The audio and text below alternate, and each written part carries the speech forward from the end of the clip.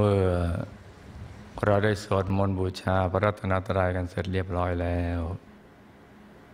ต่อจากนี้ไป ให้ลูกทุกคน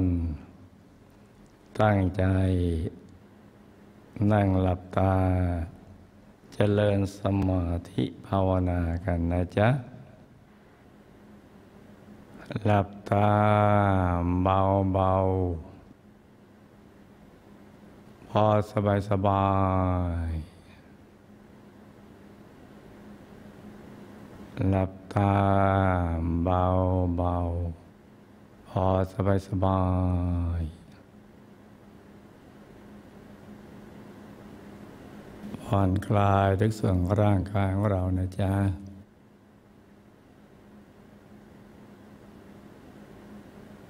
ทั้งเนื้อทั้งตัวรู้สึกสบาย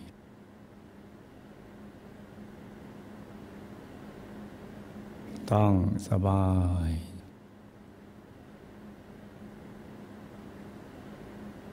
แล้วก็ทิ้งทุกอย่าง ปล่อยวางทุกสิ่ง นิ่งอย่างเดียว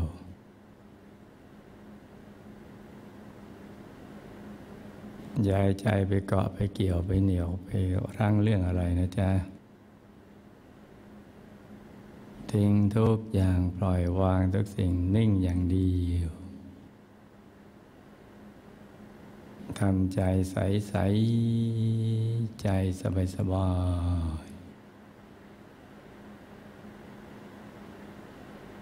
หาจุดสบายให้เจอนะจ๊ะ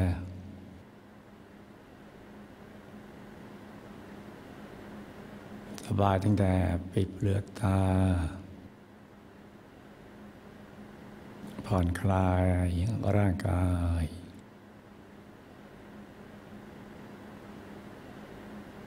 ปรับใจ ให้สบายสบายหาจุดสบายตรงนี้ให้เจอก่อน อย่ามองข้ามไปนะลูกนะ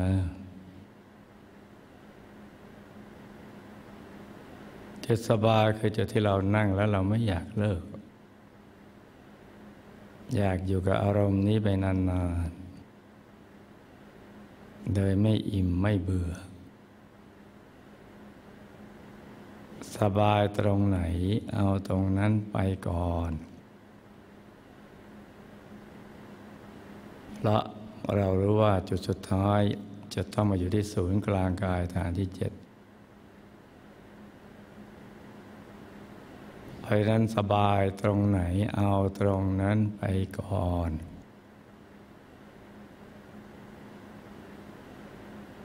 ถ้าเราหาจุดสบายเจอ มันจะทำให้เรามีอารมณ์ อยากนั่ง ไปนานๆ อยากให้ใจเราอยู่กับเนื้อกับตัว ไม่อยากจะไปคิดเรื่องอะไรเลย อยากจะอยู่กับตัวเอง เพราะนั้นสบายตรงไหนก็เอาตรงนั้นก่อน อาจจะอยู่ส่วนใดส่วนหนึ่งของร่างกายของเรา เช่นข้างหน้าเรา หรือภายในตัวของเรา ตามฐานต่างๆ ที่เราคุ้นเคย สบายตรงไหน เอาตรงนั้นไปก่อนนะลูกนะนี่เป็นเรื่องที่สำคัญนะจ๊ะ เพื่อให้ใจของเราพร้อม พร้อมที่จะนึกถึงดวงใส ๆ หรือองค์พระใส ๆ ที่กลางกาย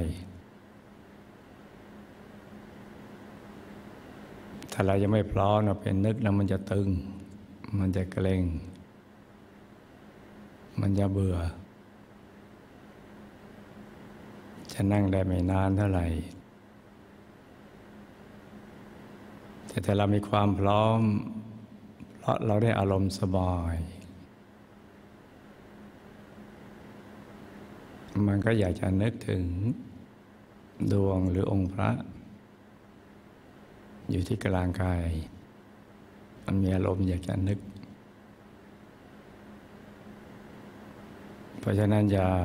ฟังผ่านอย่ามองข้ามไปนะลุงนะ ที่เราเสียเวลากันมานานๆเพราะเราหาตรงนี้ก็ไม่เจอนะ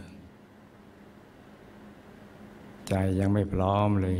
จะน้อมไว้ตรงกลางนึก ภาพเลยเนี่ย มันจะตึง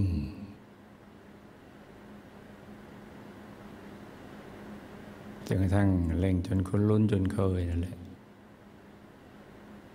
ดูความพร้อมของเราก่อน ถ้าเราได้อารมณ์สบายจริง ๆ แล้วก็ ความพร้อมก็จะเกิดขึ้น จะนึกน้อมอะไรมันก็ง่าย ฉันทะมันก็จะเกิดขึ้น สติสบายก็จะเกิดขึ้น อย่างง่ายๆ และอย่างสม่ำเสมอเอง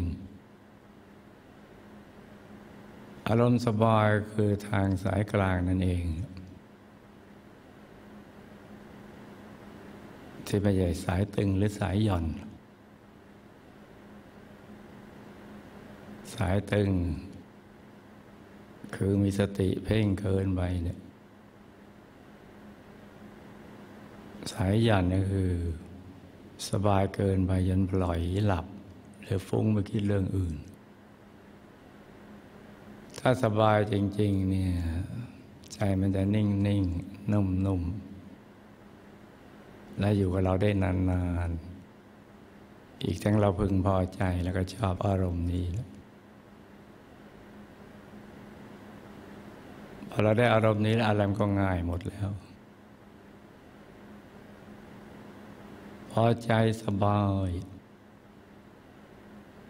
บุญเก่าก็จะได้ช่อง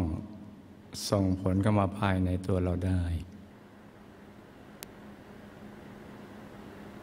แสงสว่างก็จะได้ช่องเข้ามาภายใน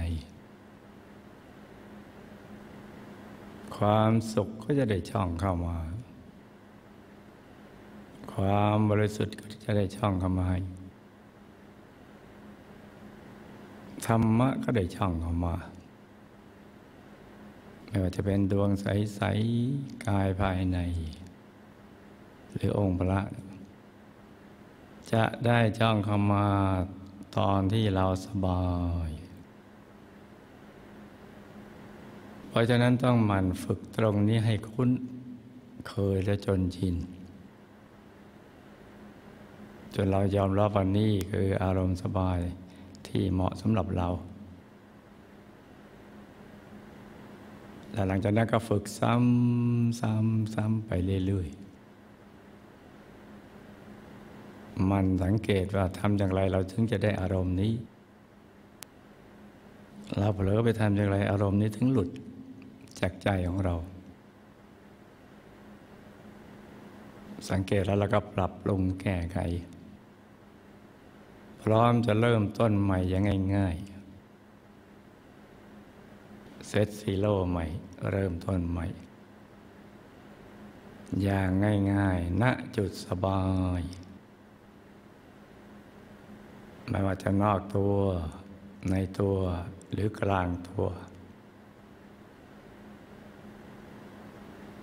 อีกทั้งทุกวันทุกคืน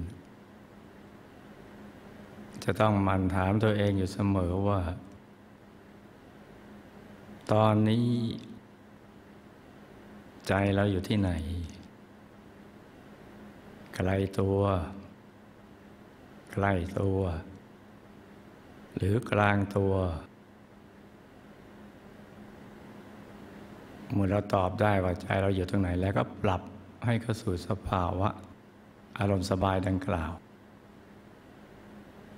เดี๋ยวใจก็จะกลับเข้ามาสู่ จุดที่ตั้งดังเดิม ที่ถูกหลักวิชา ที่จะทำให้ทุกสิ่งดังกล่าวได้ช่องเข้ามาตั้งแต่ความสุข ความบริสุทธิ์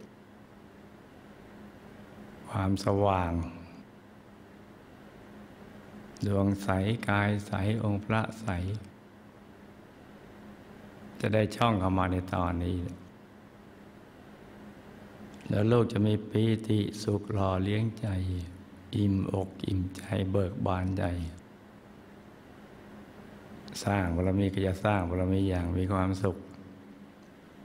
แล้วก็สนุกต่อการสร้างบารมี ไม่ว่าเราจะมีภารกิจ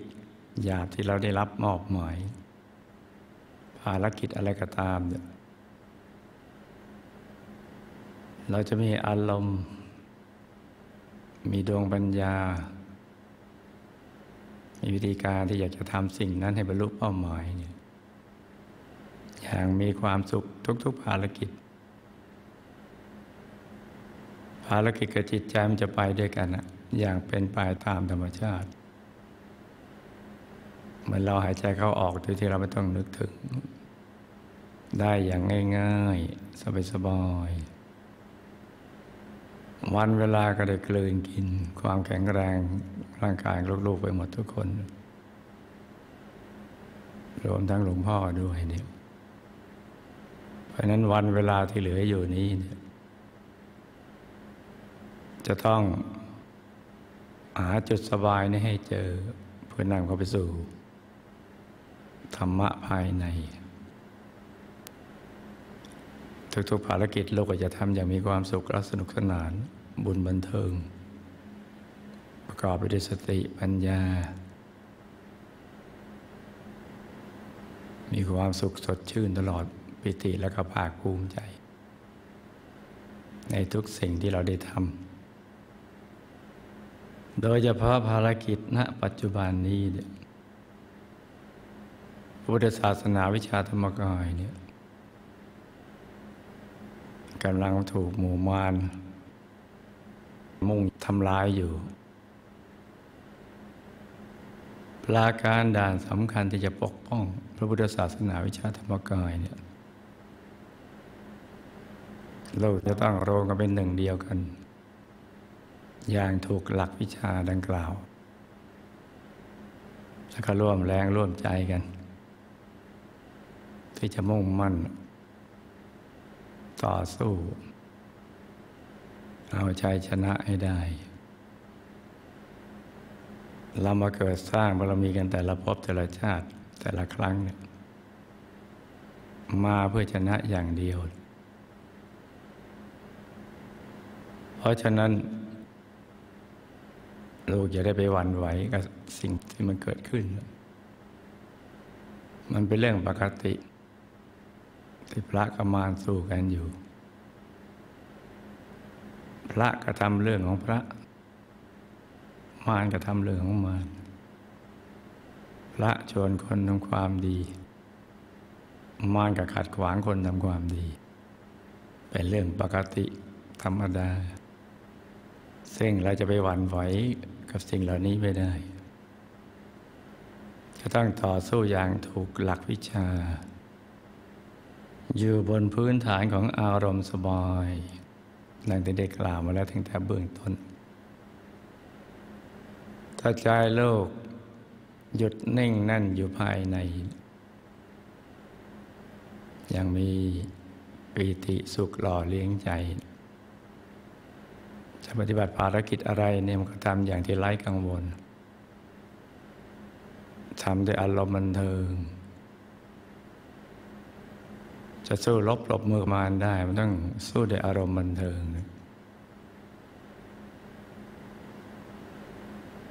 สิ่งที่ลูกได้ทำอยู่แล้วที่จะทำต่อไปนี่ โดยอยู่พื้นฐานของอารมณ์สบายดังกล่าว กระทั่งอารมณ์สบายนั้นนำไปสู่การเข้าถึงพระธรรมกายในตัว มีใจตั้งมั่นอยู่ภายใน ภายนอกเราจะเคลื่อนไหวอะไรก็ตาม แต่ภายในเราหยุดนิ่ง นิ่งเข้าไปเรื่อยๆ ยิ่งหยุดยิ่งนิ่ง ยิ่งดิ่งไม่หยุด เวลาพระนิพพานเรียกหลวงปู่มหาปุญญาจารย์ทุกท่าน ท่านส่งบุญส่งวิชามาให้เรา เราก็จะรับได้ง่าย และความเป็นจริงนั้นท่านก็ทรงมาตลอดอย่างต่อเนื่องทุกอนุวินาที โดยที่เราไม่รู้เลย เหลือแต่ฐานที่จะรองรับวิชาของท่านที่ท่านส่งมา บุญที่ท่านให้มาเท่านั้นแหละ ถ้าเราทำฐานรองรับได้ โดยวิธีการดังกล่าวนั้น จะมีแต่ชัยชนะอย่างเดียว เสมอก็ไม่มีคำว่าหยุดน่ะเป็นตัวสำเร็จนี่ เป็นเรื่องที่ลึกซึ้งนัก ทุกอย่างจะสำเร็จด้วยหยุดกับนิ่งนี่แหละ เพราะนั้นธรรมะที่ท่านสอดลงมาก็ดี ผังชัยชนะก็ดี บุญบารรมีก็ดีมันจะเข้ามาง่าย แต่ถ้าหากเรามีวิตกกังวลเจือปนอยู่ ผังเราจะไม่สมบูรณ์ พอมีผังของพยามานะปนเป็นอยู่ วิชาเขาปนเป็นอยู่ดังนั้นภารกิจเราแทนที่จะบรรลุเป้าหมายได้ร้อยเปอร์เซ็นต์เนี่ยมันจะลดลงไป ภารกิจหยุดนิ่งนี่ควบคู่กับภารกิจหยาบ จึงเป็นสิ่งจะต้องทำควบคู่กันไปในภาวะที่จะต้องสู้ศึกในทุก ๆด้านนี้ ต้องสู้ด้วยอารมณ์บันเทิง คือใจเป็นสุข หยุดนิ่งอยู่ภายใน ถ้าหากลูกทำได้วันนี้เนี่ย เราจะปรึกษาหาเรื่องกับเรื่องอะไรก็ประสบความสำเร็จกันทั้งนั้นแหละสำเร็จทุกเรื่อง เพราะเราอยู่ในสายตา ของพระผู้ปราบมารอยู่ ของพระนิพพานอยู่ ของฝ่ายบุญภาคปราบรู้ล้นอยู่ นับอสงไขยพระองค์ไม่ท้วนดังนั้นก่อนที่เราจะปฏิบัติภารกิจอะไรก็ตามเนี่ย ให้ฝึกหยุดฝึกนิ่งอย่างถูกหลักวิชานะลูกนะ หาอารมณ์สบายให้เจอ ให้ใจหยุดนิ่งๆ นุ่มๆ ใสๆ ใจจะได้อยู่ภายในตัว อยู่ในตำแหน่งเดียวกัน การทำงานก็จะได้เป็นหนึ่งเดียวกันนะจ๊ะ ต่างคนต่างนั่งกันไปเงียบๆนะจ๊ะ